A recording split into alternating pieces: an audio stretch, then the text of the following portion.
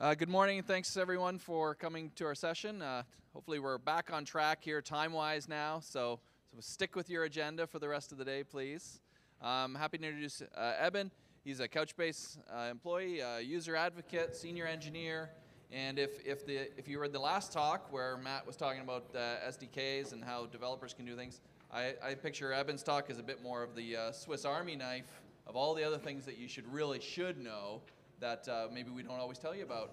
But uh, so take it away. Thanks. Okay. Ooh, yes. I'm, I'm turned on. Uh, good morning. I am Eben Haber, and I'm going to be talking about a number of different developer features.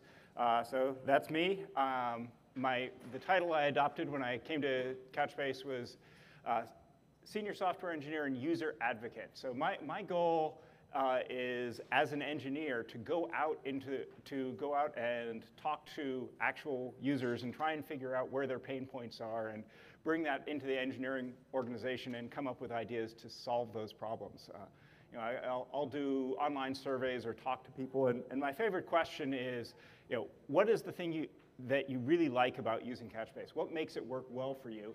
And then the flip side of that is, what is the most difficult thing about using Couchbase that really, really brings you down. So um, what you're going to be seeing are sort of things that have come out of those issues.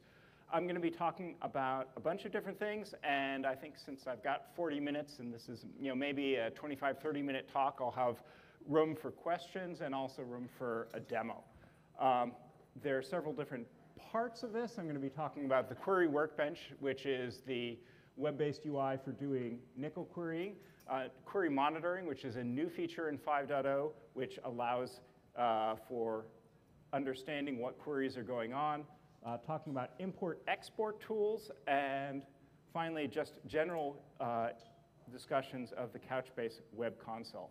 Now, um, talking, talking with the audience just before the talk, it sounds like a number of you are quite new to Couchbase, so um, I'll, I'll, try and give you enough context to understand how these features fit in to uh, the system as a whole. So starting with the query workbench, um, one of my favorite aspects of Couchbase, and the thing that really made me join the company almost three years ago, is the N1QL query language. So it is a query language that is compatible with SQL 92. So it's basically building on top of SQL 92. So it is a very familiar model of programming.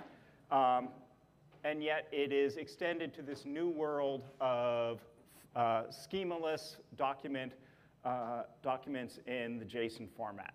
So in 4.5, we introduced a, uh, a web-based query workbench that allowed people to um, run their queries, see the results. Um, we added a number of nice features such as you, know, you can see the results in JSON, but you can also see the results in a tabular form because it can flatten the JSON out and make it appear as tables or nested tables, uh, show it as a tree, that sort of thing. Um, the biggest, you know, so in 4.5, we had this basic uh, query workbench. You could run your queries. It was very nice. But um, one of the biggest problems, and I, you know, I read the Couchbase forums every day, and perhaps the most common question on the N1QL forums is, my query is running too slowly. Please, you know, what, is, what is going on here? And the answer is always, well, you, just like in SQL, you run explain, and it will give you the query plan, and then the query plans that Couchbase produces are fairly complicated um, they're hard to understand. So uh, what I wanted to do in this release was give people a better view on the query plans. So um, one of the things is that now instead of just being able to run queries, we also have an explain button. So you can just, you can take the current state of your query, run explain, and you can see the, um, the textual form of the query plan. Uh, in addition, as you're running queries in your browser, each time you run a query, doing, uh, getting the explain plan is a very quick operation, 10 milliseconds. So every query you run from the query workbench, it will generate a plan for it, and it will keep that plan around as long as you're in your browser session. So that allows you to go back and say, oh, well, I've run 10 different versions of my query. Let's compare the query plans for each one. Um, the work, uh, in addition, there's a new feature in 5.0 called collect timings that happens on the server. When you have collect timings turned on, it, for every single query operation, will record how much time the query engine spent in that query operator. Um, so when you run a query, uh, when the results come back, you also get indications of how much time we're spent in each query operator, which is a big help in understanding how to, uh, where you need to focus if you want your query to run faster. And then, best of all, um, the, we now support visual query plans. Now, uh, the textual query plans in Couchbase, they're in JSON format. They can be lengthy. They can be hard to read. There's a lot of nesting going on. Um, and so we came up with a way of showing this as essentially a data flow diagram where you can see uh, the different query operators and how the, uh, the documents are moving through the uh, query execution. Uh, in addition to that, uh, we provide summary information so you can see uh, what indexes are being used. You can see all the buckets that are being used. All, so summary, summary information to help you understand the overall query. And then, of course, as I mentioned, the query timings. Once you've run the query, you can see the time spent per operator, the cost of each operator, the number of items going in and out, um, and it highlights expensive operations. So this is an example of the visual query plan.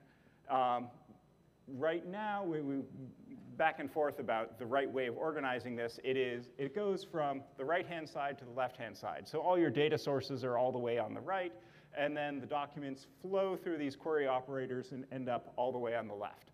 Um, the coloring of these operators are an indication of approximately how expensive they are. There are several different uh, thresholds. So if, if an operator is gray, it's negligible. It's less than 1% of the total query time. Uh, if it has a little bit of gold, then it was more, a more expensive operation, and if it's, all, if it's all the way filled up with gold, that indicates that it took more than 20% of the total query execution time. So just in looking at this, you can say, oh, well, let's see, we've got a filter down here. You know, uh, perhaps that's something that might be sped up if we had a different kind of index. Um, the idea is just, just by looking at it, uh, giving you uh, a view on, um, on what parts of the query are causing it to take time.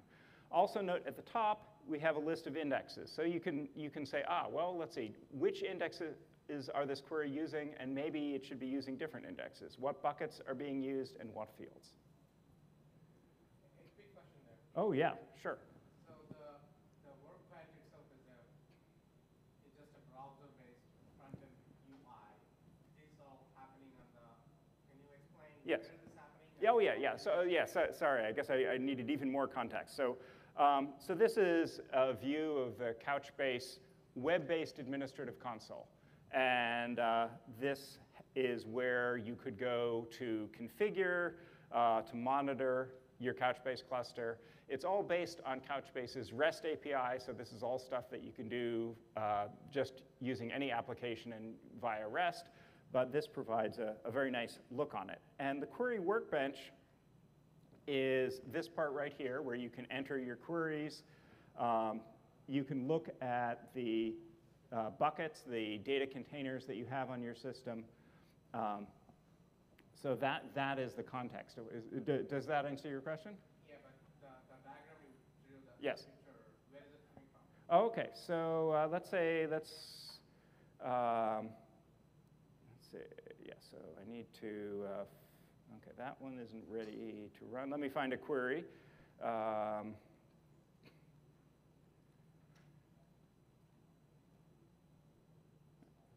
okay, so, so here's a query on one of my buckets.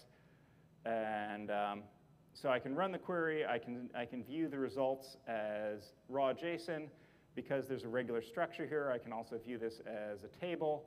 Um, and I can look at the query plan that, uh, of that query. So this is coming from the query server? yes. Yeah, so, so what happens is when you run a query, uh, before you run the query, it spends 10 milliseconds getting the query plan.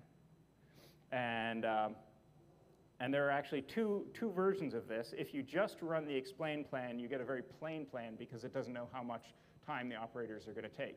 But when you actually run the query itself, the query results come back with uh, how much time was spent in each operator.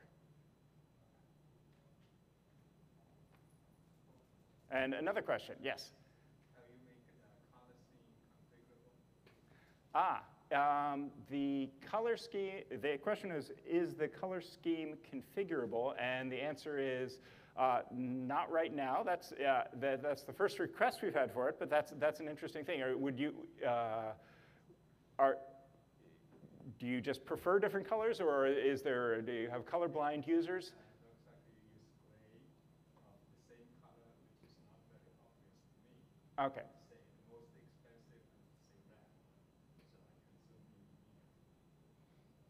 Okay, so um, yeah, talk, talk, to, uh, talk to me, and, or, well, let's see, yes.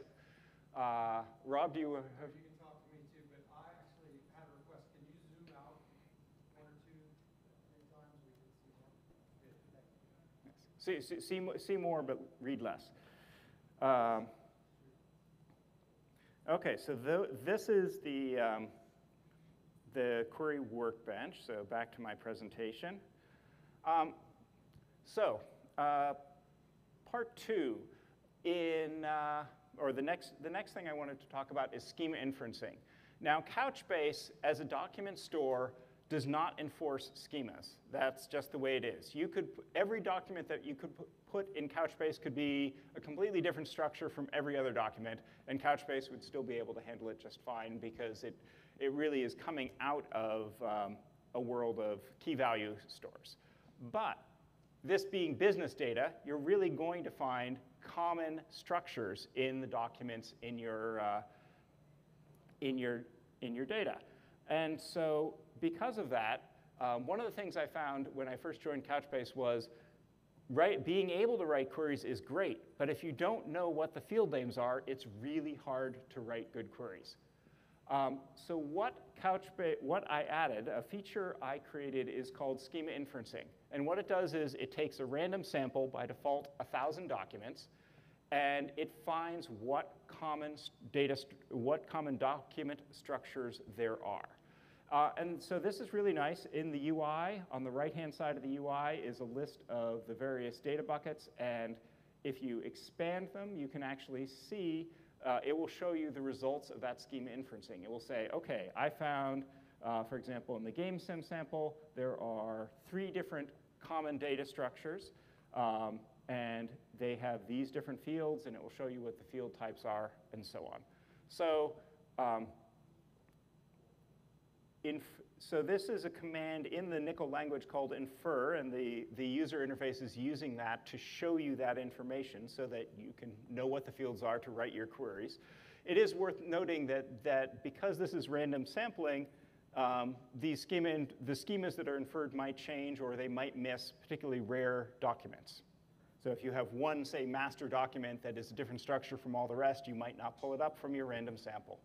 Um, in 5.0, uh, we've made some improvements. So uh, in, schema inferencing was added in version 4.5. In 5.0, we've improved that. So now schema inferencing runs in the background whenever you launch the, the workbench. So as soon as you bring it up, it's running the schema inferencing in the background so that those schemas are available. Uh, what this means is that all the field names are known. So when you're writing a query, it will do auto-completion on field names. Um, and um, I can show you an example of that. Let's see, I think I'll make this bigger again. So uh, let's see, I've got, I've got a, a bucket called beer, and so if, I, if I'm writing a query and I say select star from uh, beer, and I can auto-complete the bucket name, which is nice.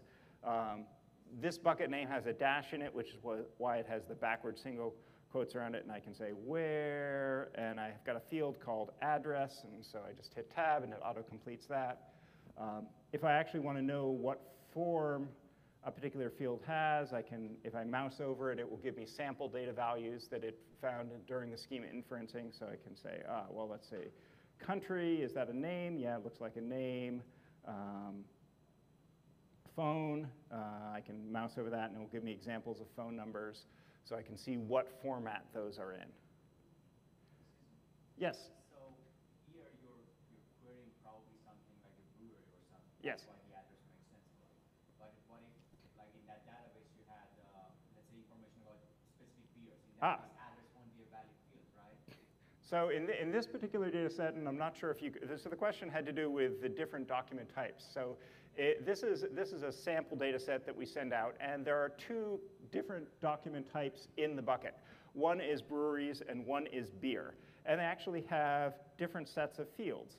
The schema inferencing is able to detect this, and not only that, um, because it's, it's collecting sample values, it is able to say, oh, well, I noticed that for all the documents that have this structure, there's one field that only has a single value for this, and that's the type field. So it doesn't know that the type field is special, but is a, it is able to determine that just by saying, oh, well, for all these documents, there's only one value for this, and that's the type having the value brewery. And the same for documents with this structure down here, they all have the type equals beer. And it also says, oh, well, they also have the type UPC equals zero, so that's probably an artifact of the data. Sorry, my- my- that's, my question. Okay. My, my question was, right now you're, you're querying probably about a brewery, right? Yes. That's why you know it has address. Yes. But for the, at the, at the, when you type your query, you can say at and type equals beer in that case, right? Yes. It's a valid query, but probably it won't return anything, right? Well, yes, exactly, yes. So, so you, you have to know, well, let's see. So you could, say, if you say where address and you qualify the address, if the address field is missing, then you won't get any of the beer documents. And uh, I guess the, the, the goal of the schema inferencing is to help you know, oh, well, I have these different structures, these fields are present here, and, and I should either use the type field or, make, or use a where clause that includes is not missing to make sure I'm getting the, getting the appropriate fields.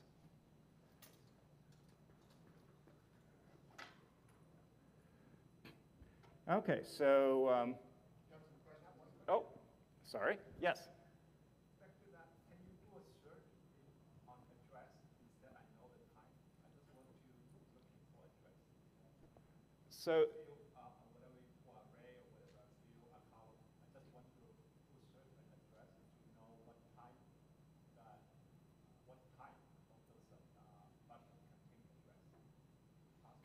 Ah, so, so, so you're, a- so I could write a query saying, um, you know, uh, select type from beer sample where address is not missing. Is, is that what you're asking? Yeah, so I can, um, and gives me a, a lot of different answers or a lot of different uh, record, uh, documents. So I could say select distinct. So this is just like querying in SQL. I can say give me the uh, distinct types and says, oh, okay, there's, These field names can be different in different documents, right? Like in one, uh, it could be, uh, phone could be number, in one it could be string, or, uh, so in which case, will it repeat multiple times here? or- yes. It, so, so if a field has a different type, it should show it more than once. Because, um, yes, having, having, a having a different type is sort of, they really are different things. But I haven't, I haven't checked that in a while, so I, I, I'm not 100% sure. Any, any more questions? So in that case, you will list the field twice or three times. Yes, i- i- that, that if you have a field with different types, it should list it more than once.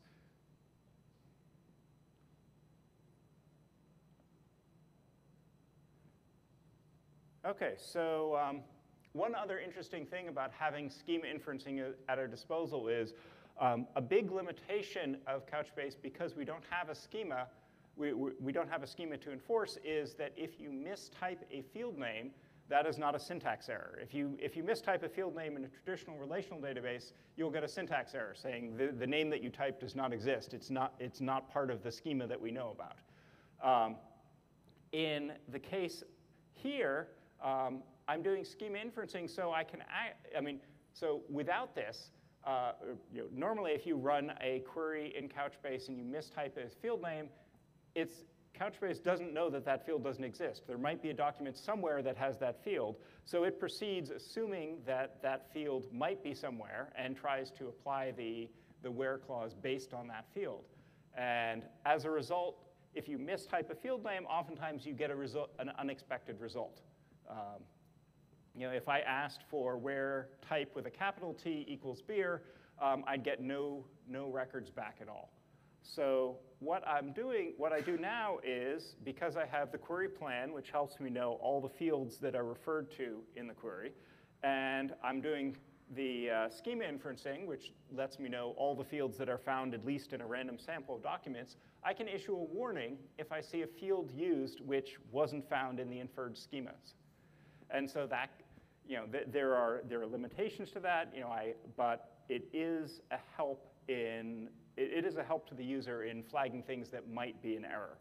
Um, you know, there, there will be false positives where it will give you this warning message if you were referring to a field that's very, very rare and wasn't picked up in the schema inferencing.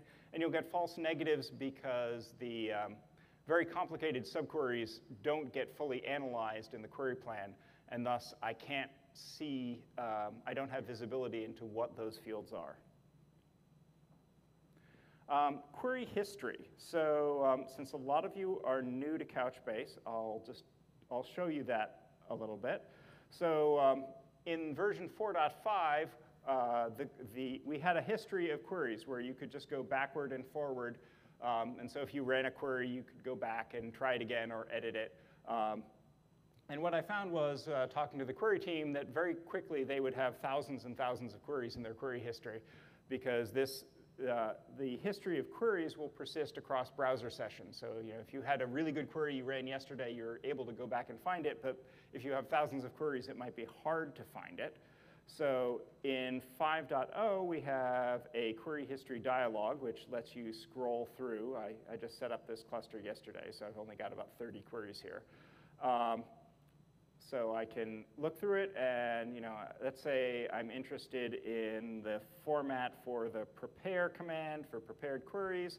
I can actually search uh, on a given keyword. and It will show me just those, and I can say, oh, well, let's see. Uh, let's bring this one up here, and then I have the query right there where I can either run it or I can edit it, change it, and run it as is. Um,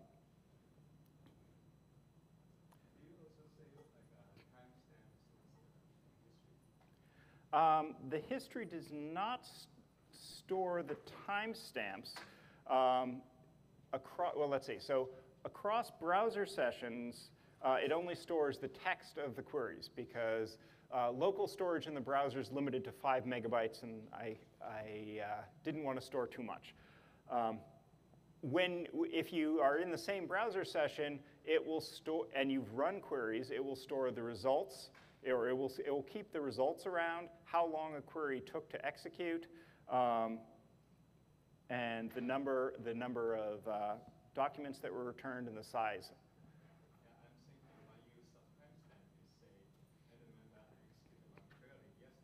Yes.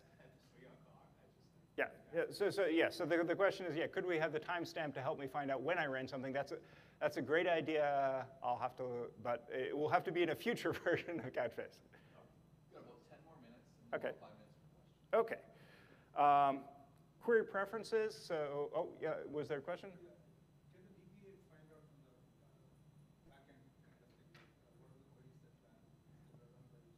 Okay, so yeah, so I'll, that is slightly later in my talk, so I'll, I'll, I'll move on to that in a second. Uh, so we have preferences. Uh, when you're running queries from the command line, it's possible to set a number of, or, or through the REST API, it's possible to set a number of parameters uh, preference, and these are now settable also in the UI. So we can set uh, the max parallelism to see how many threads the query engine is going to run. You can specify the, the consistency pattern, uh, the parameters. Um, you can use positional name parameters, which are used in prepared queries, and you can specify uh, a query timeout time. Um, finally, um, in version 4.5, we could export query results as a file. Now in version 5.0, we can uh, import and export queries themselves. So if you've got a query in a file that you really want to run, um, you can do that.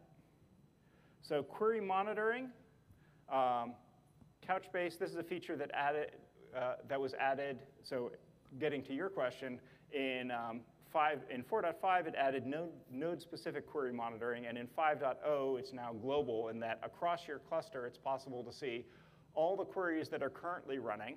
You can also see um, the most recent long-running queries that finished. So uh, by default, it stores uh, 4K or 4096 of queries that took longer than a second to run. So if you want to know what queries are taking a lot of time on your system, those are available.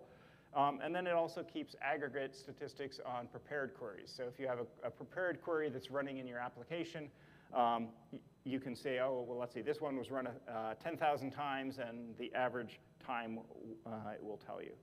So um, I'll just go over to the UI and show you that. So query monitoring. Um, since I use a query to find out what queries are currently running, um, there's always at least one query running uh, in this list. Um, I could start a script and run some other queries in background.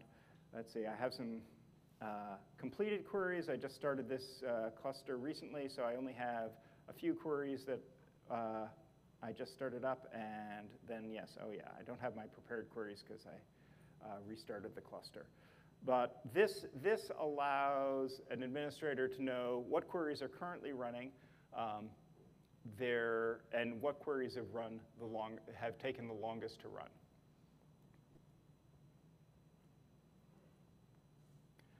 Uh, finally, in terms of tooling, um, since a lot of you are new to Couchbase, uh, we have a number of different ways that you can use to get your data into Couchbase. And this is really handy when you just want to get going.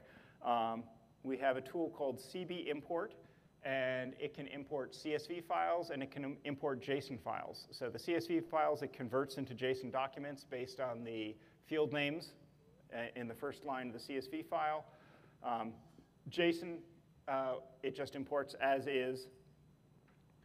Um, and CB Export is a tool for doing, um, you, you can only export as JSON because there's, um, J, J, exporting a CSV is a much harder problem because you can have nested data in arrays and uh, putting that into a comma separated format, there is, there is not a well-defined way of doing that. Um, yes?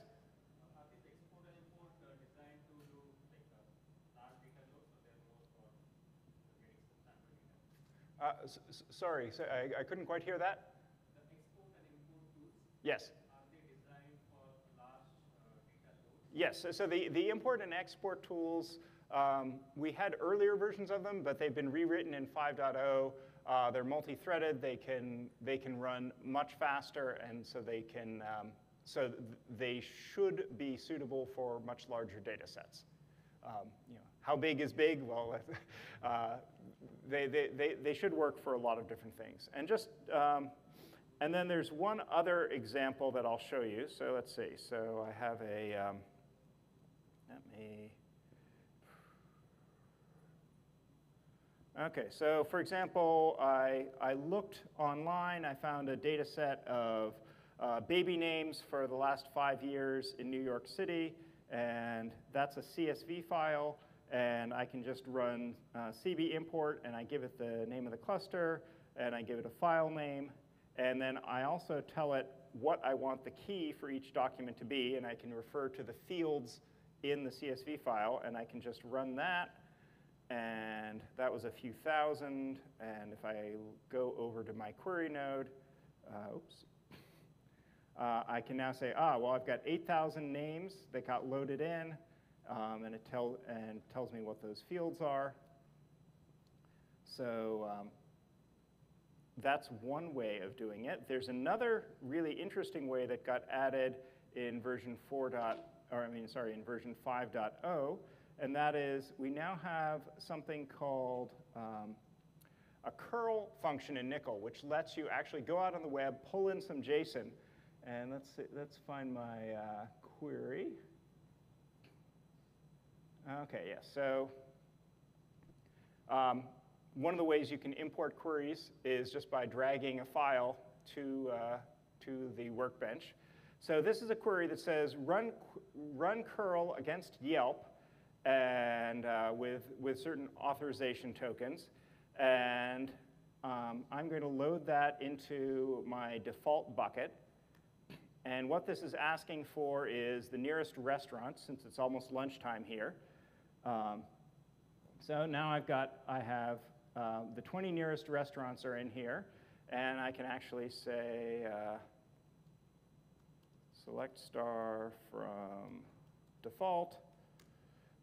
And so this, this will show me the JSON, which you know, perhaps is uh, a little bit voluminous. So uh, here I've got a tabular view, and you can see how some of these rows in the table, we have nested tables because that's the nature of JSON. But I can go over here, and uh, let's see, here I've got names, I've got ratings, uh, I've got the price. So let's see, let's sort this by price. So here are the cheapest restaurants, gives me the names, I have uh, addresses, and so on. So um, it just went out to Yelp, it got all the, uh, it got the data from the Yelp API and then put it in as JSON into uh, Couchbase. So um, that can be another nice way of quickly getting data into Couchbase, either from a file or, or from a web source.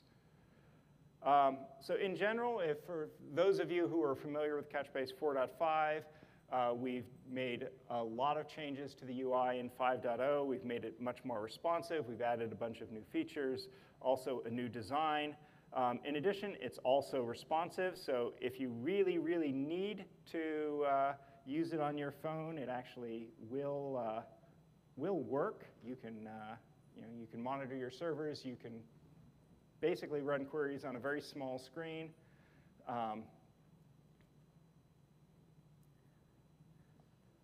and, uh, and also the navigation has been improved a great deal. And I think I did all the, all the demonstration throughout, the, throughout my talk, so just about on time. Um, I will finish up and answer any more questions that you have. Yeah, any questions? We got a mic because it's uh, we're uh, streaming this live, and we also want to. It's hard to hear at the front. Any questions? So, uh, hi. Um, I have a question about uh, running the queries overall. So, like, uh, let's say you had a query that uh, would be based on the type of the document. So you say, for example, if the type equals something, what exactly happens on servers? Am I right that it has to scan all of the documents, assuming that there is no index on the type Yes. document? Well, yes. So, so, no- so, so just, just as with any, any database, if you don't have an index, it's got to do a table scan. And, uh, and so a big part of getting Couchbase queries to run quickly is finding the appropriate indexes that will make your queries run faster. On, on relational databases, now there's another question for that. There was a way to actually give hint to their engine of Yeah. database saying, okay, use this index because Yes. it might be actually resulting in. Fa- Do we have something like that here? yeah, so- Or so- having multiple indexes might actually make the query runtime even worse than like one index? Uh, yeah, so, so, so, so, so both those statements are true. So uh, uh, we do have hints, so you can say, try and use this index. There are times where using, an index, using one index might be much slower than using a different index, so you want to push it in that direction. Um, but that's, that's a sub, uh, indexing uh, and queries is a subject of actually, I believe, a different, an entirely different talk here today. So Oh, go, yeah, uh, look that up, and hopefully it hasn't happened yet. so. Thank you. Yeah, Don't mention any other talks because that's in another session, and everybody just needs to stay here today. My question is, uh, can I write uh, multiple conditions in the filter? Uh, one can be a part of the JSON index and other one no index, other field. Uh, yes, so, so absolutely. So this, this is just, uh, so the, the, as I hear your question, you're saying, can I have multiple conditions in my query? And the answer is absolutely. It's just like uh, a SQL query where you can say where this and this and this and this, and you can have as many, many conditions as you want. You can have it refer to a subquery. Um, and so, you know, that it, it's, it, is, it is literally an extension on SQL 92. So, you know, any, any query you could write in SQL 92, you can write in this and more. And so, um, the, you know, the, the, only, the only issue is that you know, depending upon the conditions and the selectivity of the conditions and where, where you have indexes, um, you know, you, you, you don't want to end up in a situation where you're ending up doing an, a table scan, because that's, that's the slowest way of, I mean, you, you know, so hopefully you have a highly selective index, and then you can do a scan, then, then you are applying your conditions to the results of that index so that, um, so that the query will run more quickly. Oh, Uh, I'm just wondering, when we query, uh, when you store the data, the whole documents in the database, are you storing as the file as is or some other format? And when you query it, is it going to look for the real text or something different? Okay, so the, the question is how is the data stored? And so right now, on in memory, the data is stored pretty much as, as you see it. Uh, when it goes out to disk, it is, stored in a compressed format, so it takes up less space. Um, so for regular, for regular operations, it just it deals with a document. Um, there are subdocument operations which are used, which you can use through the SDK, or also N1QL uses to a certain degree, where it will um, it will only look at parts of the document and not have to move the whole document back and forth. Does that does that answer your question? I think the uh, schema inferencing is a great feature. That's very useful. I think uh, what I'm wondering, like, uh, how do you do it? Can you share like the algorithm and methods you used to uh, develop that great feature? Um, I, I, I could probably talk about it for half an hour. So. Um, Bad question then. Bad Yeah, question. yeah. No. Uh, I, I, it, it You got is time. it is not it is not particularly um, it, it, it, it is complicated in that there are lots of corner cases that you have to deal with in terms of nested uh, you know how, how to deal with arrays how to deal with nested objects but it really is a matter of turning each document into, into a schema and then comparing the schemas and seeing which schemas belong together and which schemas are separate. I assume it's using some sampling. Yes, yeah, it, it, it is based on a random sample. The, the schemas that you see over here are based on a sample of a thousand documents, and it's able to do that in you know un, well under a second. Um, the um, it is also possible to run it from the, as a N1QL command, and then you can say whatever sample size you want. So if you wanted to sample every document, you could. It would take longer, but then you would actually have a schema that represented your entire data set. Uh, last question. So I just saw, yeah, uh, you were running some prepared statements. Yes. Um, so I believe that is something that you can only do through the web console. Uh, Uh, no, or, you- or so- can you do that from the SDK as well? Yeah, yeah. So uh, prepared statements can be run anywhere you can run a N1QL command. So, um, and in fact, the real reason to have a prepared statement is because you want it to be part of your application to make your application run faster. Um, so that you don't so that the query engine doesn't have to come up with a query plan every time. Um, and so I guess usually what would happen would be that, that the developer would create a prepared statement that would make their query run faster, and they might do it here, uh, but you could do it from the command line or, or, or via an SDK. Um, but then actually executing the prepared statement is, is something that your application would be more likely to do. Okay, so let's say there, I say, you know, prepare this, prepare this query, which is just giving me, uh, no, let's see, oh yeah, prepare as.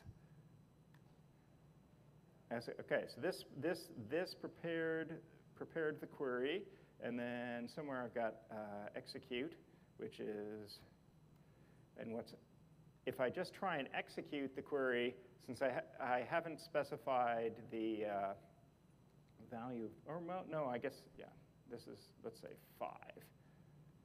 So I need to give it a value, and, uh, oh, let's see. Uh, Never mind. I'm not. that's the, that, that, that's the wrong query to run, and I don't have time to fix that right now.